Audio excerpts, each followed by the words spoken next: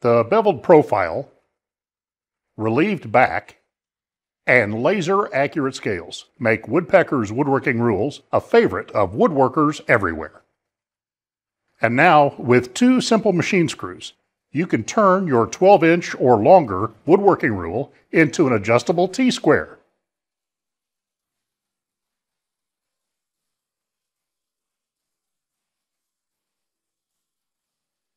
Woodpecker's Precision Woodworking Protractor Head mounts to the end of any 12 inch or longer woodworking rule. Now you have a T-square for accurate layout work. Turn it over, loosen the two knobs, and now you can set the blade to any angle. The laser engraved angle scale is easy to read, and the crisp indicator line is right on top of the scale to eliminate parallax. The head adjusts smoothly and locks securely at whatever angle you need. And if you need to use it again as a rule, it's just as easy to remove the protractor head. The Precision Woodworking Protractor comes with a wall mountable racket that keeps your protractor head right in plain sight and ready for work. The racket stores the head by itself or with a rule installed.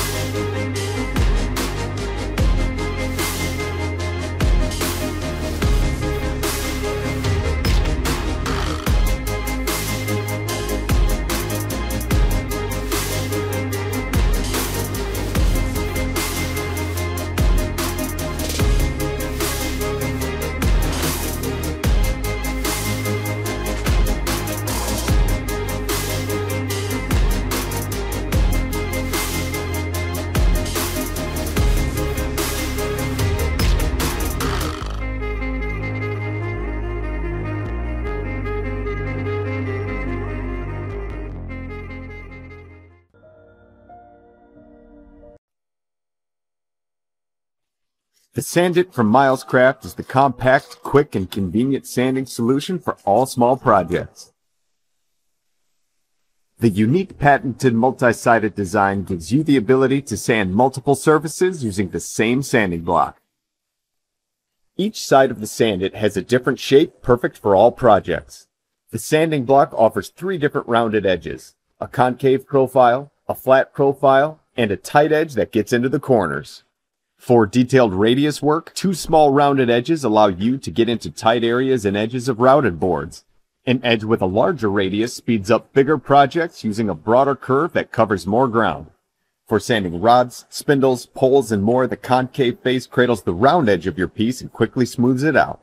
The flat surface is great for sanding pocket hole plugs, wood plugs, or removing any rough surface. Use the tight edge to squeeze into the nooks and crannies to finish off your sanding.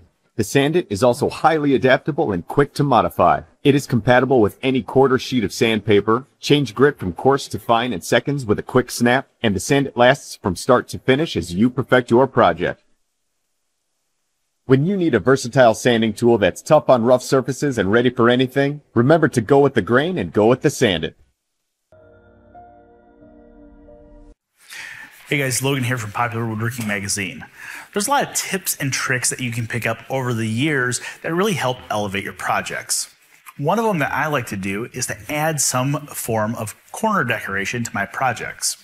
Let's look at this router cabinet, for example. If you look at the sides of the case, you'll notice that the top and bottom corners have this radius on them. It's just a nice little detail that looks better than having a sharp corner.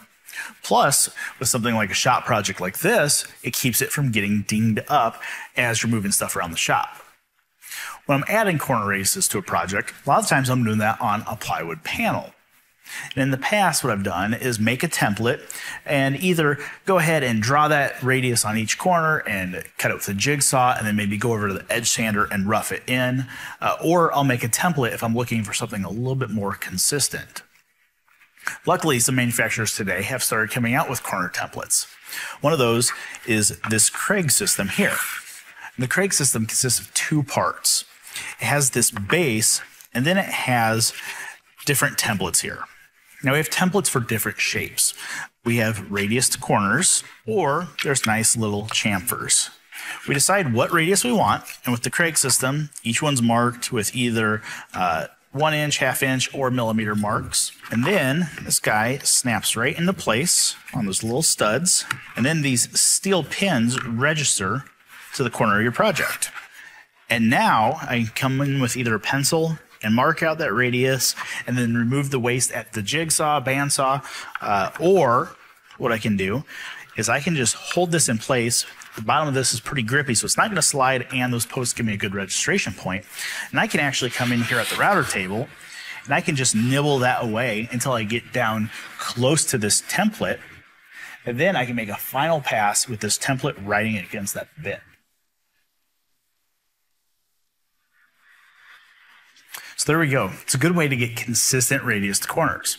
Now, one thing I will say is if I'm going to go ahead and do the chamfer on the corners, kind of make a dog ear, I am going to cut that off first, uh, either with the bandsaw or with a jigsaw, maybe a handsaw. Just remove most of that waste and avoid as much chip out as I can. So overall, it's a great way to get good, consistent results, and it's going to lead to better looking projects.